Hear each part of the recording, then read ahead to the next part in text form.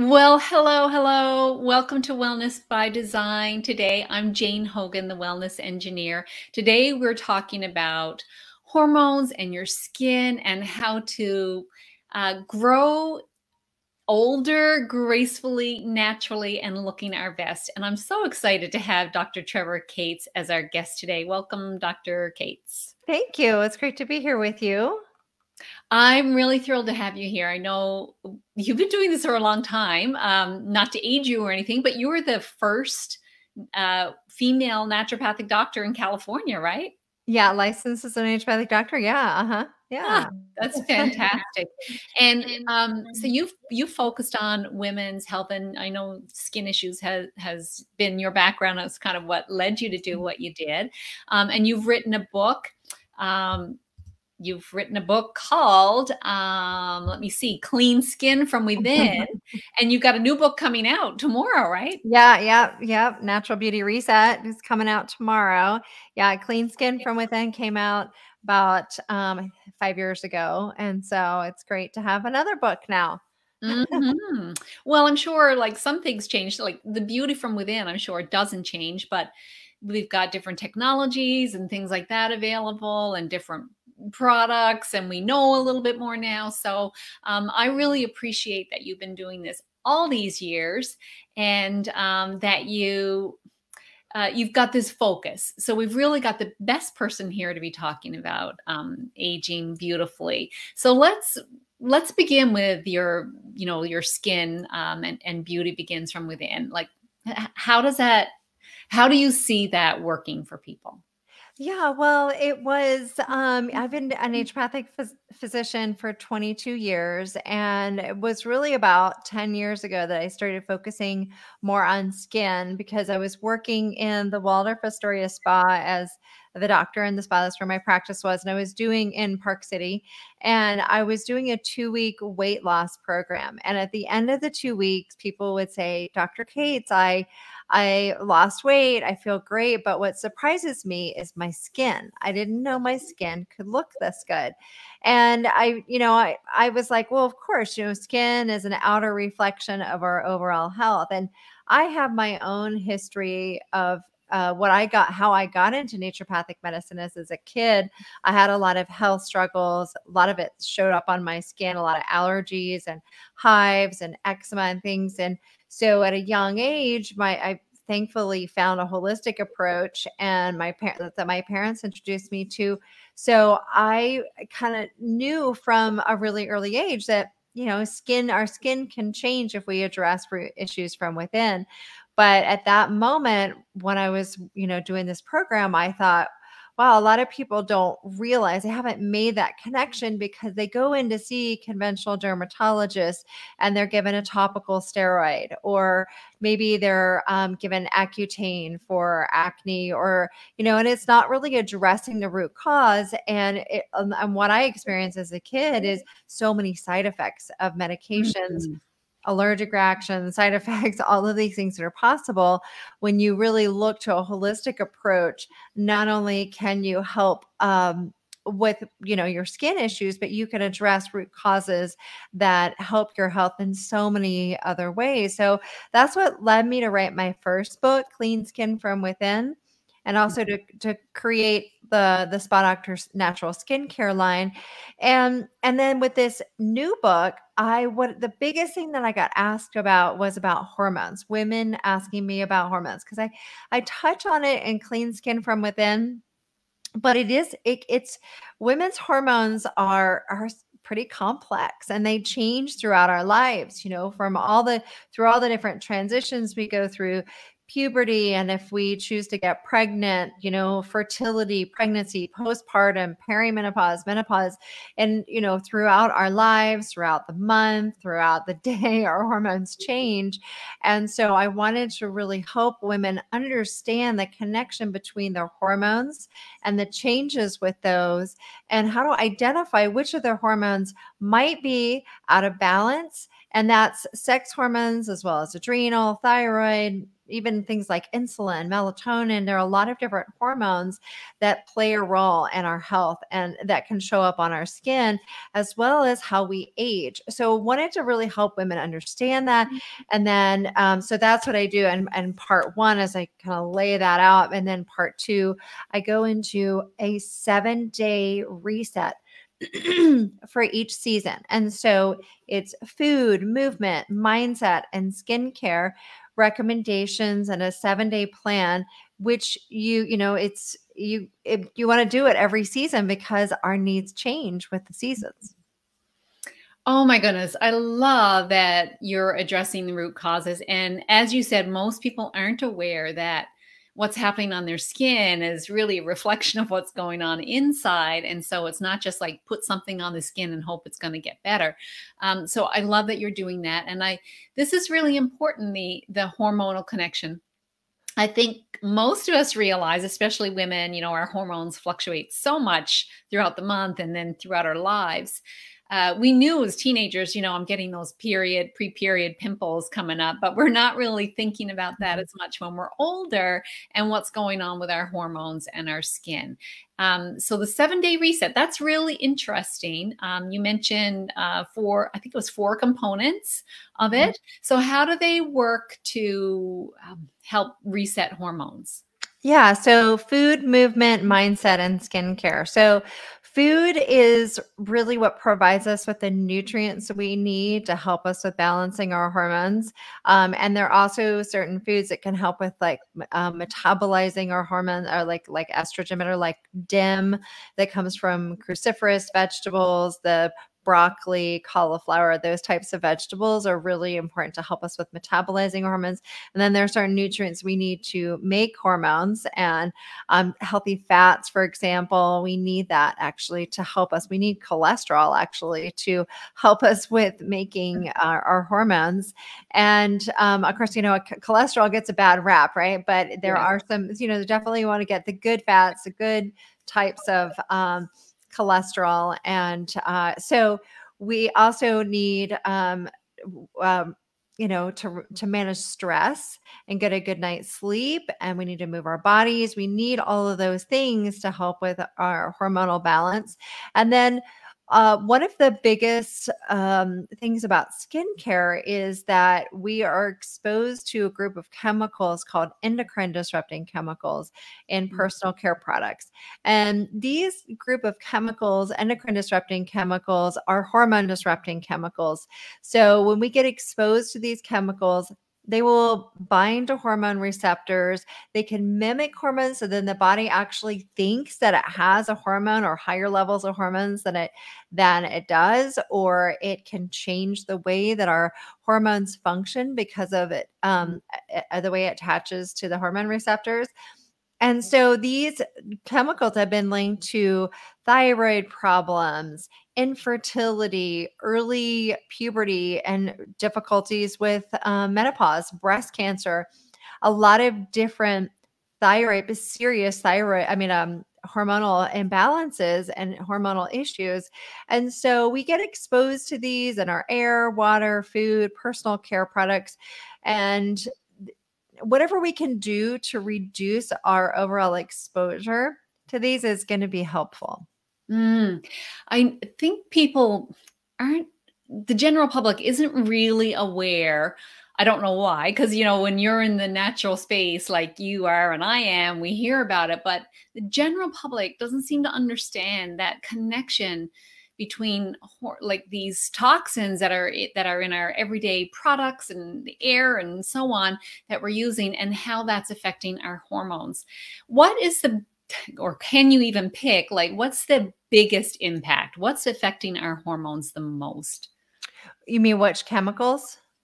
Yeah what like what from our environment uh, that we're exposed to is is kind of i guess the biggest thing that we could remove that would help or also having the biggest impact?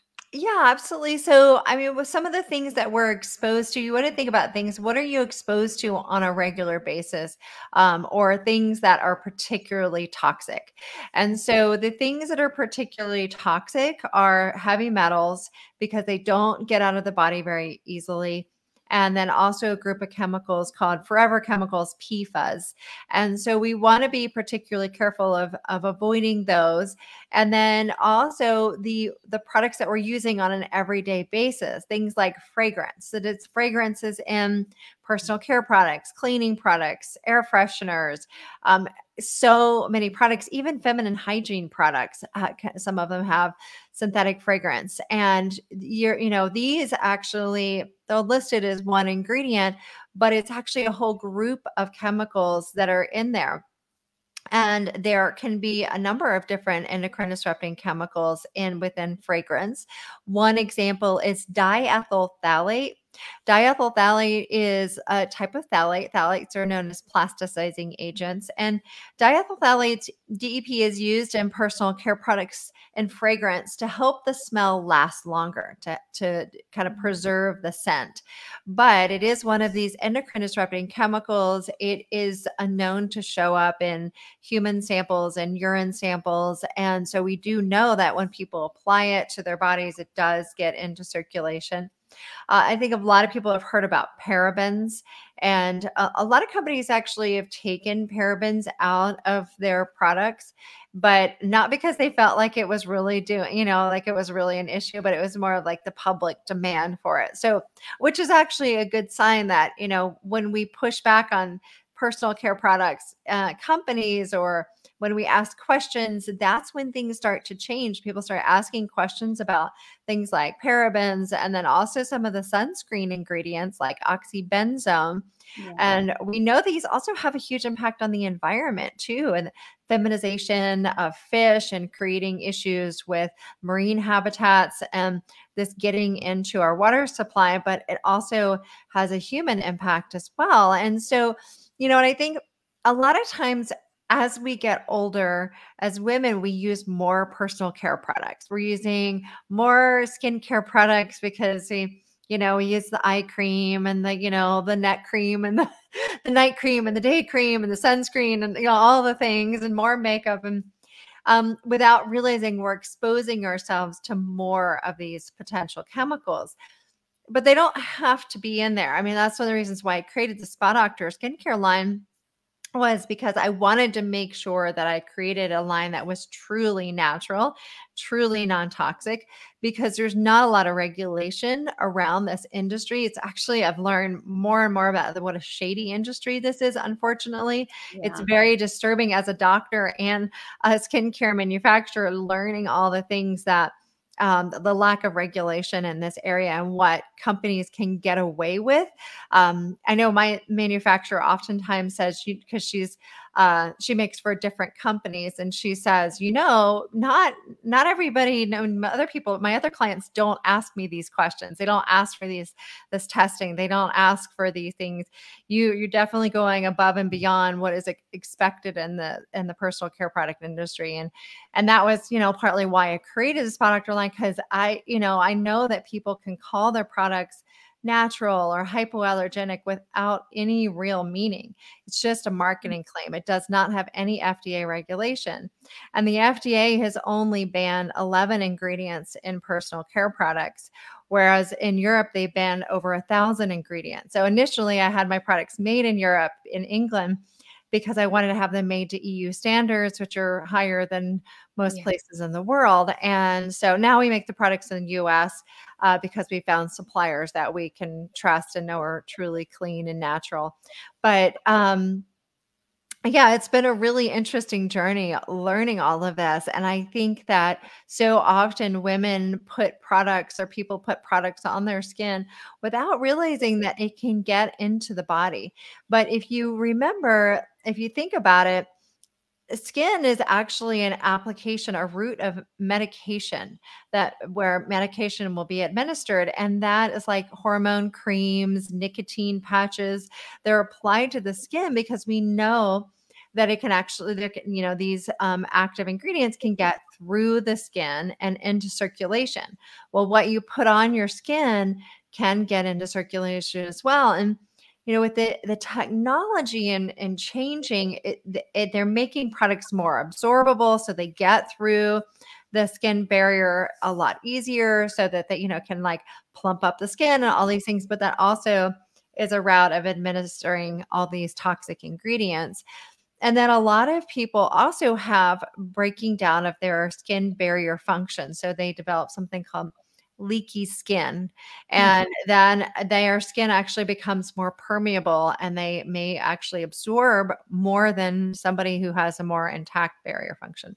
Mm, interesting. So parallels between the leaky gut and leaky skin and um, and of course our gut health is related to our skin health as well. So pretty safe to say i think dr cates that like anything with that fragrance is kind of a good place to start. Like you don't want to be using that in terms of skincare products. Um, uh, and because we don't want to be disrupting our hormones because that is key to how our, our skin looks, right? I know you've got this docu-series coming up, starts tomorrow too. It's called Hormones, Health, and Harmony. Um, and so let's hear a little bit about that because I know you've put a lot of effort and time into making sure that um, that you've put together quality uh, information for people so they can really get get to the meat of this. Yeah, so when I when I realized I needed to write this book, I started to when I was diving into the research and I was talking to some of my colleagues and I, I realized that I have so such a great network of of colleagues that that it's nice for people to hear from different perspectives rather than just me and especially from people like gynecologists who have um, you know started off in more with a more of a conventional approach and realized that they they were limited in what they could do to help women balance their hormones and overcome their health issues and that went more to a functional medicine approach so i decided to interview over 50 different experts and they're gynecologists, dermatologists, there are um, mental health professionals and fitness people, mindset people. There are a lot of different great experts in this series. And I I flew around the country interviewing these people in person. These are um, like highly uh, high quality. I had a film team crew with me and edited. And so each episode has a theme around it. So it's very engaging. It's very interesting because what you'll see is you'll see these parallels. Like when you hear a lot of different experts saying, this is important this particular like endocrine disrupting chemicals you know you need to avoid this and it's not just me saying it but you have a, a number of people saying it and they build upon each other you know like and this is what i do with my patients and this is what i discovered and this is what i found personally with my own health and and so it's it's really interesting to um, I, I really loved interviewing all these experts, putting it together was very exciting. And so, yeah, it's going, it's live tomorrow, starting tomorrow. We have episode one.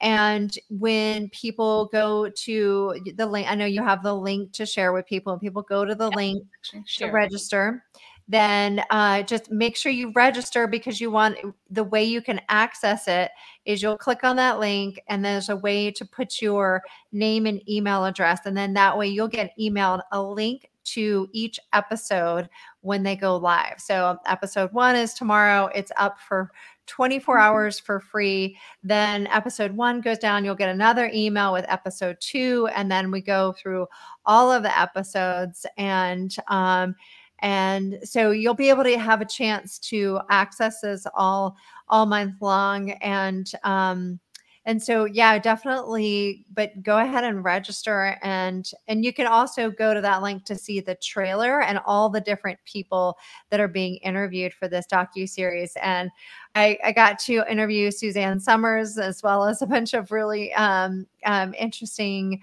colleagues and experts and it it all came together really beautifully and and then also there's a, a way people can buy the docu series if they don't get a chance to watch um, or if they're you know listening to this after the the time period when we've gone live for free you can buy the docu series. You have a lot of great bonus content, including the Suzanne Somers interview, and so it's it's just it's a really great uh, resource for for women to understand their hormones, to hear from mm-hmm. different experts, different perspectives, and to share with other women in their life. Because I think it's really unfortunate how many women are uh, just bought into this misbelief that we just have to suffer through because we're women. And mm-hmm. like, you know, PMS, oh, it's just part of being a woman and, you know, period problems and infertility is on the rise. So, you know, and mm-hmm. thyroid issues. And so, I mean, women are just like, well, you know, you go see a doctor and they're just like, yeah, well, this is common and you're going to, this is just something that you're just going to have to, to suffer with. And, you know, women with thyroid issues saying, well, you're going to have, you're going to live with this your entire life. So here's the medication and, um, you know, I'll see you next time. And, and it's like, there's just, there's so much more that we can do. And just because things are common, you know, and really challenging perimenopausal and, and menopausal transitions. Um, just because they're common doesn't mean that you just have to suffer through. So right. this is one of the biggest things is you hear from all these experts their personal struggles, what led them to help a lot of other women, and to understand that you can be take back charge of your health, that there are solutions with lifestyle, with, um, you know, getting what to ask for for lab work and what ranges to to think about and look for and talk to your doctor about because it's not like doctors don't want to help us. Uh, most of them are limited a lot of conventional doctors are limited amount of time that they have to spend with patients. And so they might only have you know 7 minutes to spend with you and they're trying to be fast and just give you a prescription. They don't have time to explain things. But the doctors in this in the series you know, I spent a lot of time interviewing them, and there's all this content to really help you fill in the gaps. And with the first time we aired this in May, the the feedback we got from women was was just what we were hoping for, which is this really helped me connect the dots. It's uh, a, helping me understand what I've been working on with my healthcare provider, what I've been trying to communicate with my doctor about and i i knew i wasn't crazy i knew it wasn't just all in my head and so really helping empower women i think now more than just i mean you know it's it's not like you keep we keep thinking oh this it's going to get easier for us but unfortunately we're still we still not there yet when it comes to yeah. women's health it hasn't been that long since women have actually been included in mandatory um, being included in research. They used to be just all men that were in research. And so, um, hello, we're a little different. We're not just like mini men or, you know, we are, we have very different, I mean, we have the same hormones, but we have very different levels, and our bodies work very differently because um, as we're designed, um, you know, we're designed to procreate, right? We're designed to, whether or not we choose to get pregnant and have children, our bodies are designed that way. So our hormones just, they're different, arts, which makes our bodies function different. Mm-hmm. I love what you said there too about common versus normal. You know, we're we're kind of like, oh, this is this is we're told it's normal, but really these are just common but not normal. We shouldn't be having to go through a lot of these things. So what are some of your themes for each day? Just like give us an overall uh, you know, 30,000 foot view. For the different stages of like of a woman's life? No, for your uh for the docu series, the themes. Oh, oh, okay, yeah. So, oh my gosh, we have so many. I mean, there there's a lot of busting myths. Um, there's one on metabolism. There's one on sex drive. There's one called honoring your lady parts. Um, there's one about getting your glow on. Um, there's one on superpowers. There's um, we um, you know mental health, um, emotional health we cover all the different areas. And and so, what I wanted to do was design this for women of all ages and stages. Mm-hmm. And I know that a lot of women going through menopause, perimenopause tend to be really motivated because they they realize it's connected to their hormones. But I wanted women to understand, you know, about their daughters, what they're going through with puberty, and what uh, women may be struggling with fertility issues or um, wanting to set themselves up for a healthy pregnancy and easy postpartum period all of these stages when we when we get our hormones in a more harmonious place where you know, balancing hormones is a, is a process, an ongoing process. It's not like one point we've arrived because life, you know, we'll get stressed, we'll difficulty sleep, we'll, you know, have uh, something happen in our lives and that will kind of cause things to shift.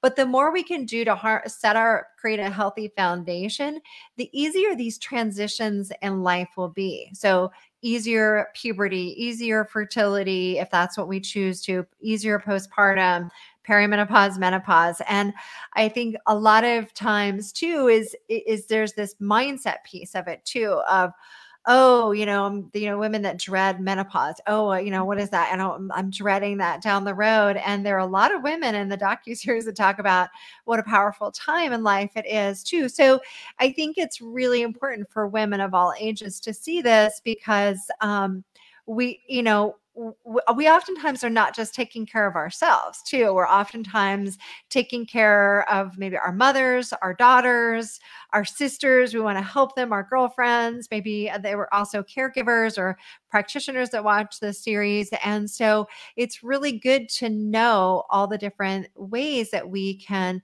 uh, support our health to harmonize hormones Mm, and I, I just love this. Moving through all of the stages with ease and with grace should be that's how it should be, not Right. difficult. So I love, love that you've done this, Dr. Cates. So this this program, the one Wellness by Design, is about intentional living, and and uh, I love coming up with simple steps, like action steps that someone could do today to um, to improve their health. And of course, you're talking about hormones, so perhaps your one thing that someone could do today might be related to that. What what would you say could be a simple step someone could take today? Yeah. Well, I mean, I think if, you know, the, the really the first step to take is realizing that you're worth it. Because I think it's so hard to make any change if you don't realize you're worth it. I think a lot of times we beat ourselves up, we, you know, take ourselves down, we want to take care of other people before ourselves. Uh, But to realize that you're worth it, that you're valuable, that it you know to to take care of yourself is not only self-honoring but it's honoring the other people that you take care of and as as women i think it's it, that's like really the first step and Mhm. then like i mentioned the food movement mindset skincare those are the really the keys to help you um build that healthy foundation will help you through and be more resilient. And so finding what something that you can do in each of these areas, even if it's something simple like starting your day with a healthy smoothie with like lots of veggies in there so you you know get your day started with lots of veggies not not ton, you know like gotta be careful with you know not too much like fruit juice or fruit you know want to make sure you're getting plenty of like um, getting in some protein and healthy fats and all that, but get just starting your day healthy. And then maybe taking some time in the morning for a meditation or some breath work, even taking three deep cleansing breaths can can be really uh powerful and helping us with managing our stress um, and then moving our bodies figure out can you get outside and just go for a quick walk and then what can you do? What's one thing with your skincare? Maybe just taking a look to see what has synthetic fragrance in it. Is if you can swap something out that maybe has organic essential oils or that's fragrance free. So I know that's more than one thing, but it's um if there's just one thing, it's the first knowing that you're worth it. And you are. I'm not, you know, it's not a question, are you worth it? But you are. Mhm, I know. I think um, a, a lot of us tend to put everyone else ahead. Um, we're mother, a lot of us are mothers, and we're put our children ahead. We put everyone else ahead, and so what we don't realize this this was my experience too that when I saw that I was putting everyone else ahead, well, then what happened with my health? Then I couldn't help anyone. So you have to put Mhm. yourself first. It's you know that old put your mask on first, right before you you put the mask on the other person. So I love that you said that. So sweet. So where is the best place that people can find you? I shared the link to your um to to the docu series right there. Mhm. Mhm. Where where's best place that people can find the spa doctor? Okay, great. So with the book, my my new book, Natural Beauty Reset, people can go to naturalbeautyreset.com and we have a list of uh, places where you can order the book and then when you after you order the book, you can go back to that page and um, you can get $500 in free bonuses that complement the book, like workbooks and uh, we have um, a seven day masterclass starting soon, and you know things that people can do to really engage and follow the the programs. And so that's a place. And then everything else, you pretty much everything you can find at thespadoctor.com. T H E S P A D R dot com. Doctor is abbreviated, and you can find um, more about our the skincare products, our supplements, the books, all of that stuff um, at the Spa Doctor and about the the Woman's Doctor podcast and all the great things we're doing. We're also on social media on this at the Spa Doctor. Wonderful. Thank you so much for all of this. I know that th- there's a lot to cover, especially when we're talking about these four areas that people may be very surprised are related to skin and how we look. And um, so I really appreciate all that you shared. But obviously, check out Dr. Cates' website, get, look at her book, go to the docu series. There's so much more to find out, and we know that when we when we feel good on the outside, it helps us feel better on the inside as well. And the things that we can do to look better on the outside are really things that help us inside. So it's all beautifully connected. I so appreciate you being here today, Dr. Cates. Thank you so much for your time. Thank you. Thank you for all the work that you do as well. Ah, thanks. Um, and thank you to the audience as well for joining us live, or if you are listening to the podcast or watching on YouTube later on or any of the other platforms. Thank you for being here and communicate with us. Let us know. Do you have any questions? Maybe you can uh, contact Dr. Cates and ask questions, or you can ask questions in the comments. We're happy to answer and connect with you and find out what's what do you want to know about hormones and your skin. So thanks so much for being here on Wellness by Design. And don't forget to share this with someone who needs to hear it. Have a great day, everyone. Bye.